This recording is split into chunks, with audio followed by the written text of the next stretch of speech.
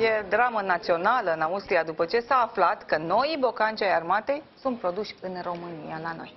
Rimele pereche au ajuns deja în picioarele unor militari austrieci, chiar cu ocazia Zilei Naționale a țării.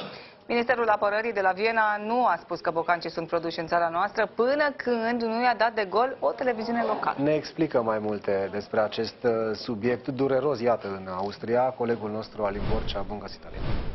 Bine v-am găsit. Armata Austriei s-a lăudat că soldații vor avea bocanci noi, mai buni ca niciodată și pregătiți pentru câmpul de luptă modern. Aceștia sunt bocancii discordiei de la Viena. Autoritățile au spus că încălțămintea este cumpărată de la o firmă din Austria, care s-a ocupat inclusiv de proiectare. Primele perechi au ajuns deja la soldați chiar de Ziua Națională a Austriei și din mâinile Ministrului Apărării. Doar că o televiziune locală, deținută de un mare și cunoscut producător austriac de băuturi energizante, a stricat bucuria pentru că a dezvăluit secret secretul noilor bocanci. Sunt produși în România. Informația a declanșat un scandal uriaș în mediul online și în presă. Foarte mulți austrieci s-au revoltat că soldații țării vor fi încălțați cu bocanci produși în altă țară. Criticile au fost atât de puternice încât armata a trebuit să explice public întreaga situație.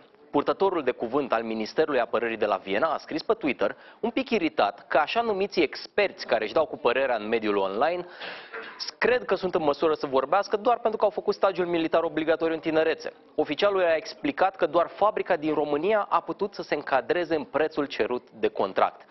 Și mai iritat, produc, uh, purtătorul de cuvânt le-a cerut criticilor să spună cine poate produce în Austria bocanci la fel de buni și la fel de ieftini. Inform gluma fiind că nimeni nu este în stare de așa ceva. Ulterior, televiziunea publică ERF a confirmat că bocancii vor fi făcuți la Oradea, în fabrica deținută de firma din Austria care a proiectat încălțările.